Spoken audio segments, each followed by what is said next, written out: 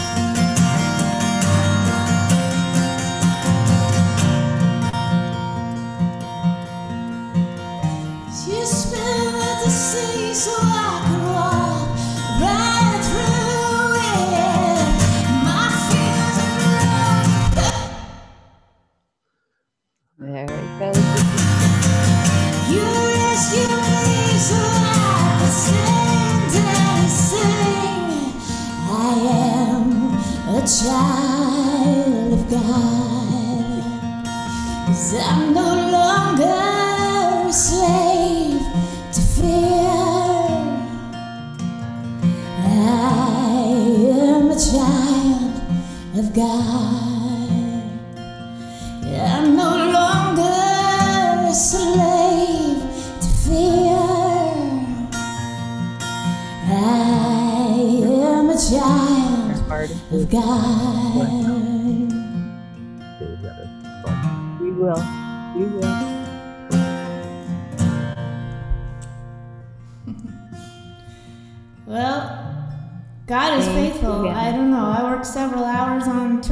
That to work, but now I know there are more bugs to work out.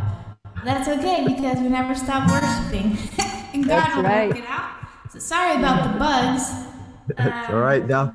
I'll do more Now you have family to help. videos. All Yeah. right. All right.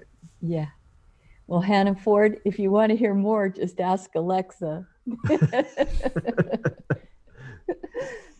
Thank you, Hannah. Thank you, Hannah. We'll do that one again. Yeah. We'll dig, we'll get it right. He'll work it out. Sorry, I can't hear. Yeah. That was beautiful. Oh, Oh, thank you. Sorry, I couldn't couldn't hear. I'm gonna get that figured out. well, welcome to church, everybody, church family. It was so nice to see all of you. Thank you, Hannah, for your beautiful music. And the technical part is just so worldly. And we know that God is with each and every one of us, even when the mic isn't working or we can't hear. We all feel the Spirit of God. And so we thank you, Lord, for what you're doing in this worship, God. And we thank you for Hannah, Lord. And you are always blessing us, even through the imperfect.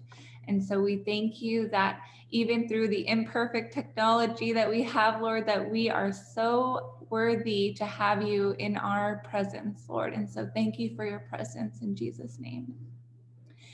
And I would love to see all of you in our prayer call. I think the only people I haven't seen, and I don't want to call you out, Marquette, but we haven't seen you in our prayer call.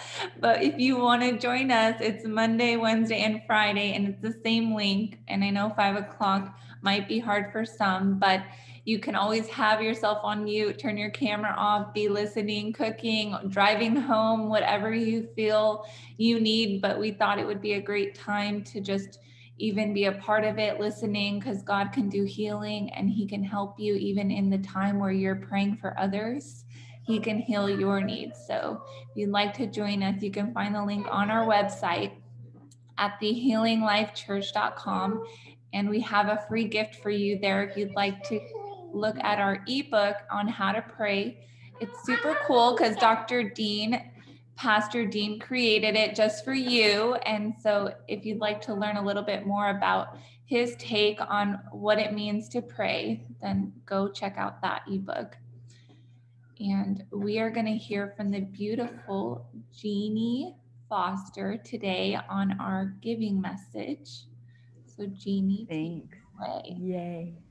Well, I have to say that Margette's opening her salon up, and it might not be surgery, but when you're cutting hair, you want to be full, fully present because if your hairdresser is listening to a prayer call, you're not in a good spot. so, um, Margette, don't tune in in the middle of a haircut, okay? Work is important. Yeah. Absolutely. and uh, Yeah, you can't, you know, you some you some can, occupations you, can you listen. can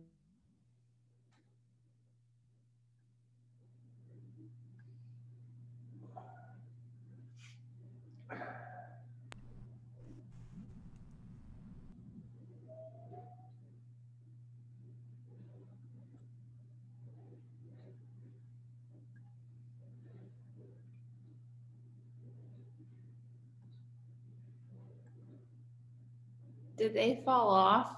I Yeah, they're not there. they are gone. Oh, she was doing the offering message. Okay. All right. Well, I'm sure they'll jump back on. Look, Hannah, it's not just you. It's all kinds of technical problems today. But we have to say we're pretty blessed because this is like the first time and we've been doing this since December. So we're like on a roll, you guys. We're doing really good. Well, I want to say, uh, Hannah, you started to sing uh, that "No Longer Slave" song.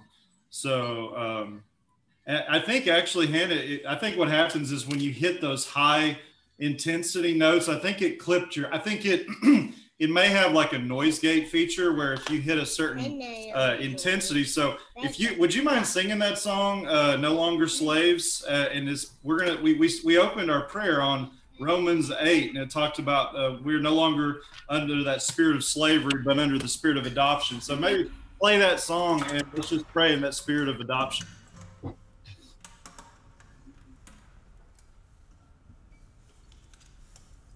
Hello. Yeah, I'll just sing it quietly.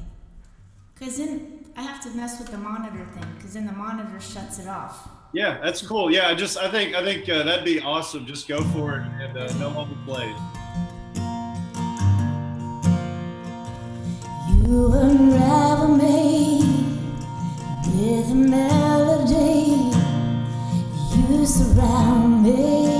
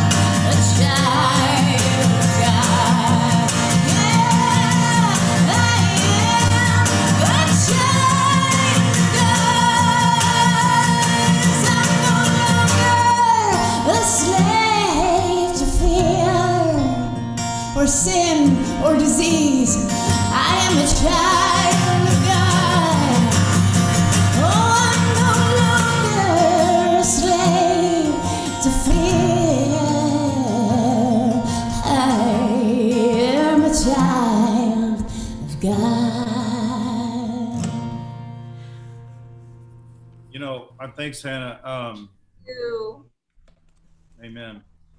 Uh, Romans 8:15 says, "For you have not received a spirit of slavery, leading again to fear of God's judgment, but you have received the spirit of adoption as sons, a spirit producing sonship, by which we joyfully cry, Abba, Father." And that that word Abba, that's you know, I've got a two-year-old, and that that's what when he when he says Dada, that's what that's talking about. That's talking about that intimate intimate oneness with a, a, a young child with his dad. And that's what's in our heart. That's what's in your heart toward God when Jesus Christ has been made the mediator.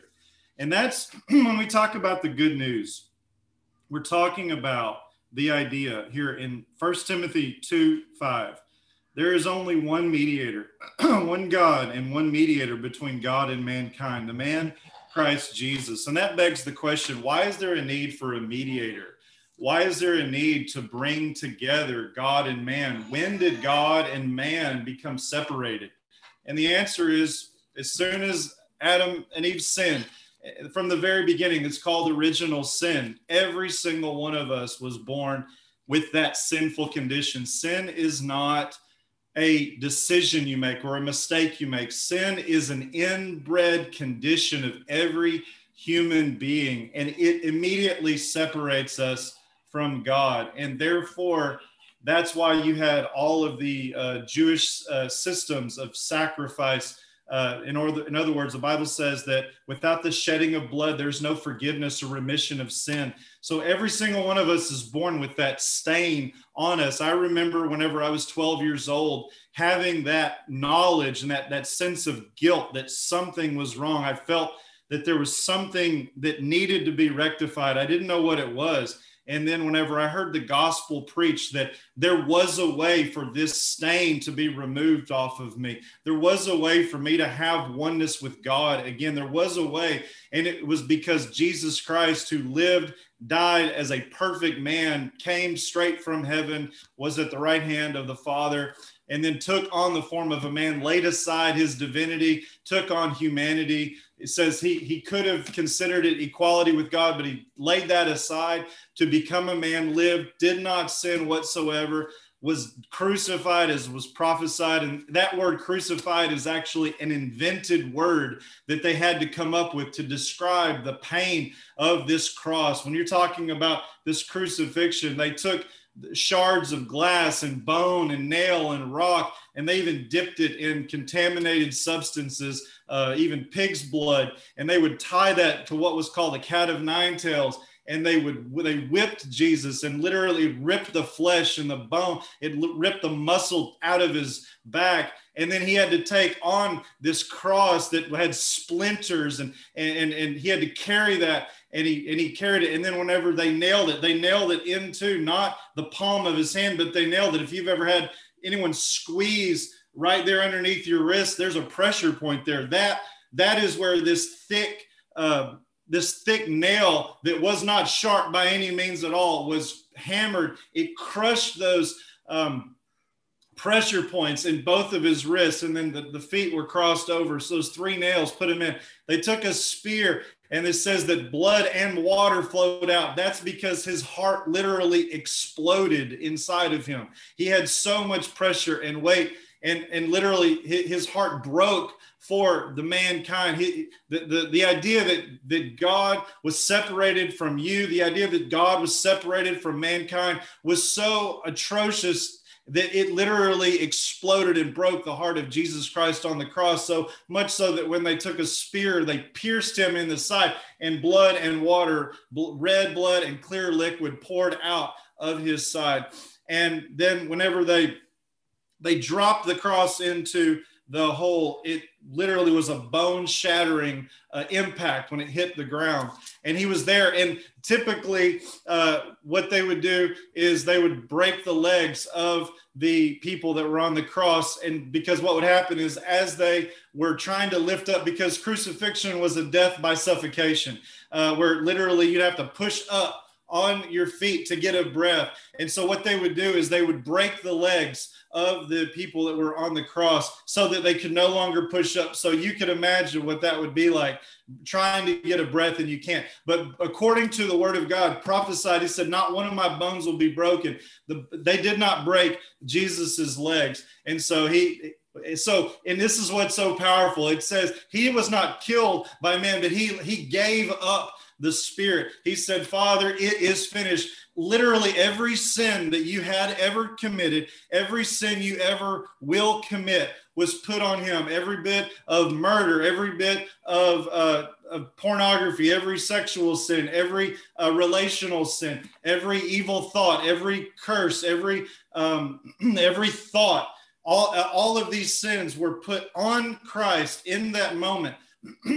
and when he uh, when, when it was time, it, he said, It is finished. And that is where the mediation came from. Because, and of course, the good news of this is that after three days in the tomb, he was raised from the dead. He went down into hell. He took the keys of of uh, he took the keys from the devil and was raised up and is is now ascended to the right hand of the father. And some crazy crazy things happened in between that time. We're talking people coming out of the graves uh, and and many people saw him. And even thomas said you know i don't believe and he showed him the scars. So this idea this is what christianity is all about is this crazy notion that that you believe that. So this is the script this is the story. I had a a, a, a classmate of mine in college and he was uh, he was the most uh, mischievous classmate. He was in my dorm.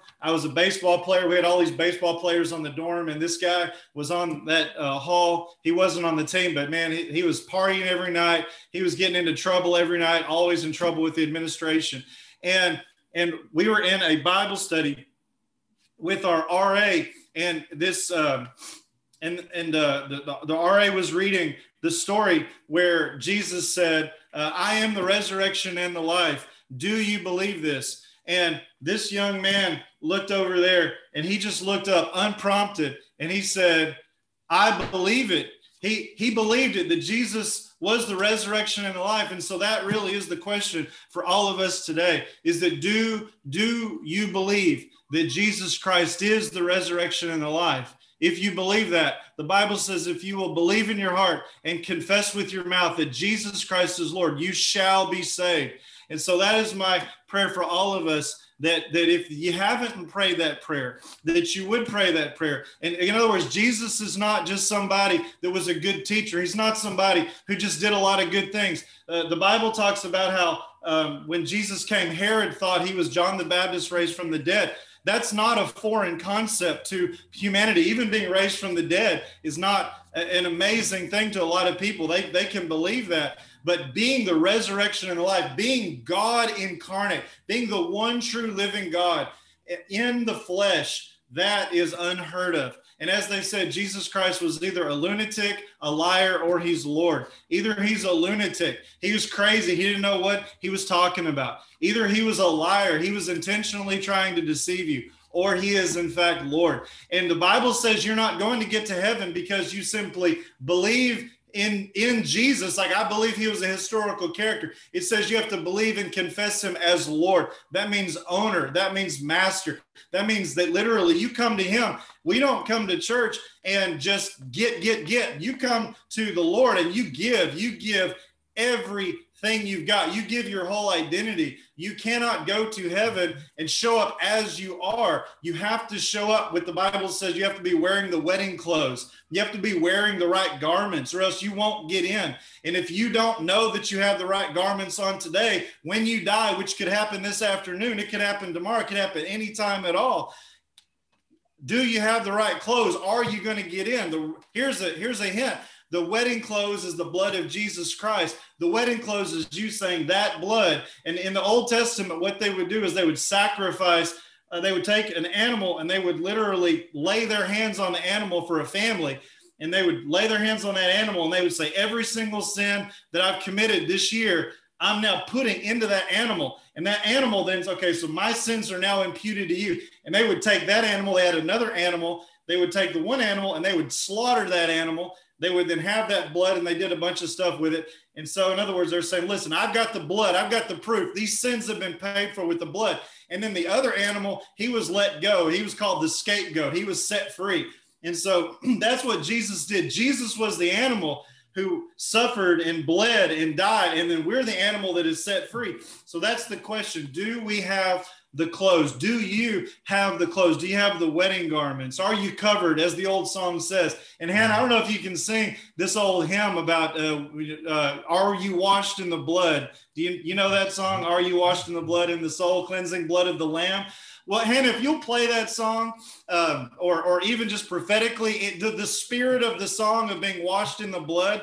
What I want to do is everybody who's on this call, I just want you to just to reflect and, and, and, and I'm calling on the Holy Spirit of Jesus Christ of Nazareth because the Bible says that we cannot come to God unless the Spirit of God draws us. So this is the question: Are you washed in the blood? And if you cannot say absolutely, I am not washed in the blood, and you want to be washed in the blood, then we'll give you an opportunity to, to speak up and say, you know what? I'm not washed in the blood and I want to be washed in the blood. And we can lead you in a prayer that'll make sure you are washed in the blood so that when your time of judgment comes, you will know that you are clothed and covered and ready, and He'll welcome you into heaven.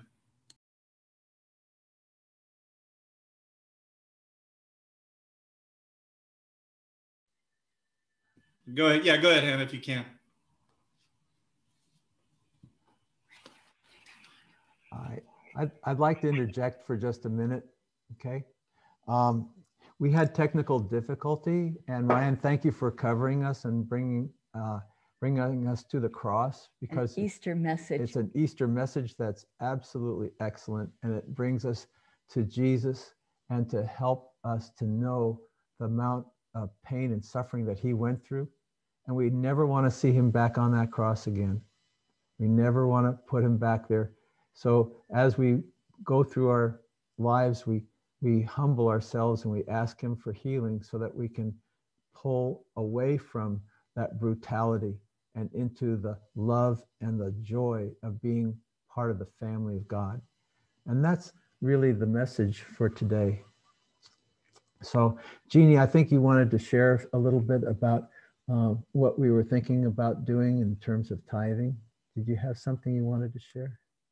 Yeah, is that appropriate now? Yeah, I would. I'd like for you to share. Hannah, so that we can get all our technical difficulties squared away before we do music again. Um, let's thank the Lord for that Easter message because it's one week until Easter. And we know that this is a hard week because this is the passion, the week of the suffering. We thank you that we are able to come together now, Lord, in this church. We thank you that we're all here and we're overcoming the technical difficulty of the day. We thank you for Ryan's message and bless him, Lord, and each ear that hears what is being said. And thank you that we know you, Lord. We know you and we love you. And our message for the tithe was such a beautiful scripture. It was when the, Lord said, Bring your tithe into the warehouse, the storehouse, and so that there's food on my table, he There's said. food for them. Yeah, and that's more than food. You know, it is. And and you know, Jesus said that he is the word. Yeah. And that he said, I am the bread of life. Yeah. And when he, what he was trying to communicate to us through parables and through these analogies was that we are spiritual beings that need him. Yeah. And we need as we come to him to to to partake. And it's his love. Yeah. Isn't it? It is. And that's tithing. You know, when you look at tithing, you're looking at how it comes into us and then goes out from us. Yeah. And right now we have a few technical difficulties and we're sorry about that. We will we will try to fix them over the next week or two and we'll we'll but we're going to use the tithing as part of our way to grow. Yeah. And to reach more people and to help them. Yeah. And he said test him and i thought that would be amazing because um, this is a week and the next couple weeks that there's an extra check coming from our government. Our government needs help. I mean they're on borrowed money. And as these checks come in i'm just asking you to look at the tithe. And if you're not already tithers and i know a lot of you are and we thank you for that that you tithe this with a test in mind, that you come to the Lord and you say, Lord, I'm giving this to you, A portion of it. a portion. That's A tithe is a tenth. yeah. And I want to test, I want a God story from what my gift is giving. So we know that the Lord blesses those that give. And we as tithers have lots of God stories of how he's supplied to us. We want to hear from you. If you haven't been a tither, that you have a God story that results from tithing if it's your very first time, no matter how old you are. Right. And I see a very young man on this call, and you are mighty. And if you make a gift, you ask the Lord to test this gift to see if he doesn't come back with something that is very special in your giving because you cannot outgive Jesus. That's right. And you know, the whole premise of Healing Life Church is that we heal. Yeah. Because not because of us. And I'm a physician and I know what it is to heal a person. I've been inside of people's bodies. Isn't that kind of creepy? But I've been inside those people's bodies to to help them, not to hurt them. Oh, it might hurt a little bit and I have to put them to sleep for a little bit to kind of get in there and do that work just like he puts us asleep sometimes to do his work right? That's right. and it does hurt sometimes you know but in the long run we heal. And this is the beauty of healing life church. This is the foundation upon which we are building the rock upon which we are building this church. Our faith is that by empowering you, by having you become a child of God, a royal priesthood, a pastor, in the sense that you are part of a church that empowers you to become the head of your family and to heal those around you. That, like a giant tsunami, this will turn into a wave that will heal this country. We need help, Lord. This is a time when we come together and ask you humbly to let us be part of the solution and not part of the problem.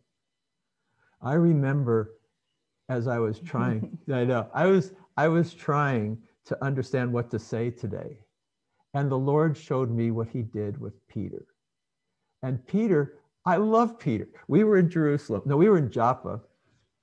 And okay, well, uh, excuse me for a second. Go ahead, Amber, and finish up with that. Just want those of you who feel called to give to the Healing Life Church and Pastor Dean and Jean Lee's ministry, that you could give on our website at the healinglifechurch.com or on our mobile app. You can find it on the App Store under Uncommon Provision. Sorry to interrupt, but I just wanted to make sure that everyone knew how to do that. We're going to continue with the Loving Families That Heal Part Two. For those of you who weren't here, you can look at that on YouTube. Yeah, it's all right. ahead, Pastor Dean.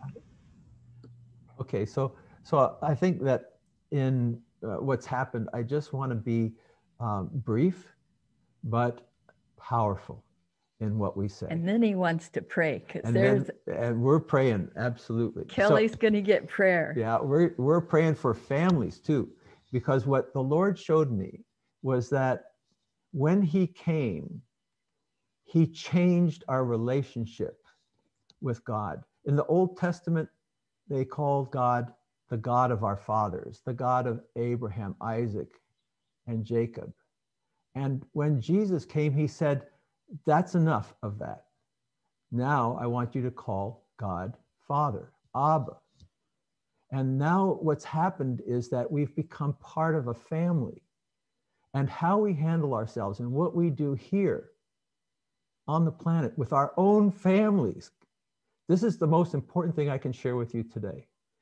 We are responsible for our own families. Jesus never abandoned his family. He gave his mom to John on the cross. As he was dying, he said, Mom, there's your son. And son, there's your mom, as he was looking at John and Mary.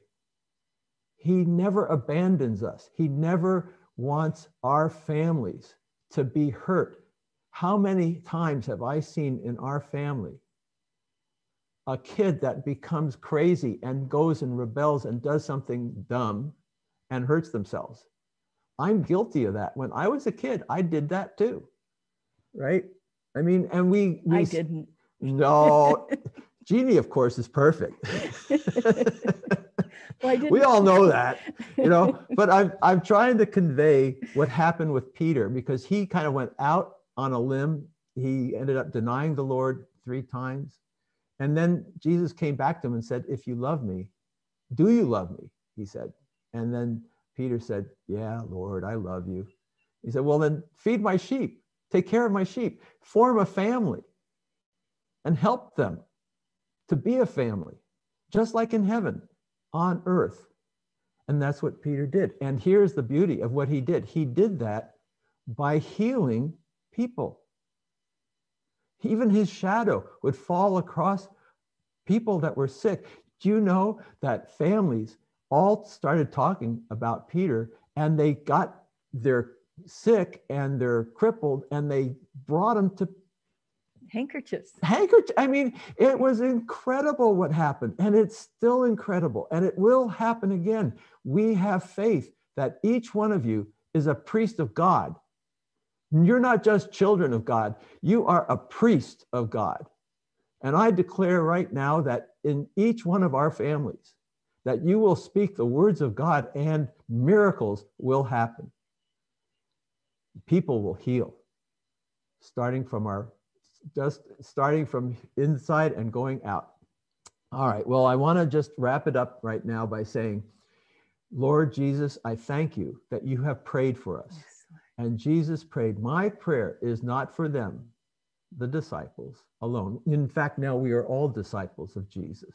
Mhm. I pray also for those who will hear and will believe in me through their message, that all of them may be one, Father, just as you are in me and I am in you, that they may also be in us, so that they may be brought to complete unity. Okay, that's that's the scripture for today. That's enough Mhm. for today. But I just want you But we all have some business to take care of. we do. We have some prayer for each one of us, but I, I want this family concept to not just be in us, but to be, it will stop the hatred. It will stop the, the tearing apart of our families and restore our country. From here, we can go forth to heal our country. Nothing is impossible for Jesus. I know him. I know what he can do. Nothing is impossible for him. And we are part of him. We are part of his family, and we can do it.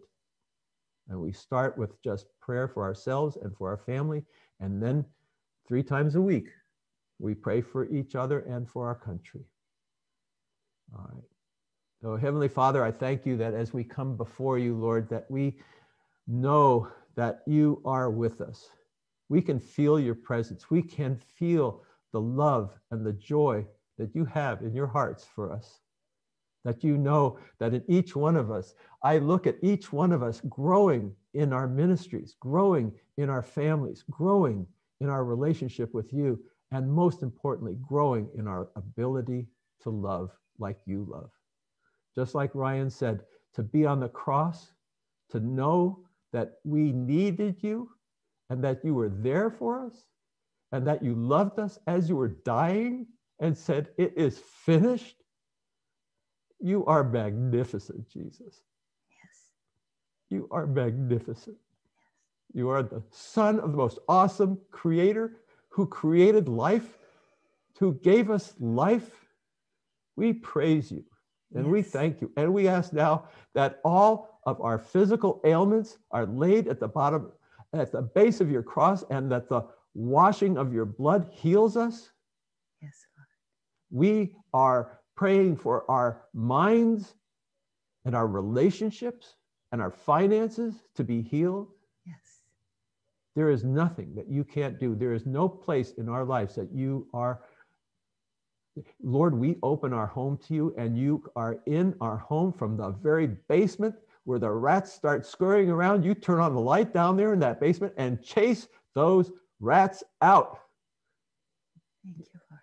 Just, they don't belong in our home and in our family, Lord. Thank you, Lord. And you press on, push on, lead on, love on, love on us, Lord.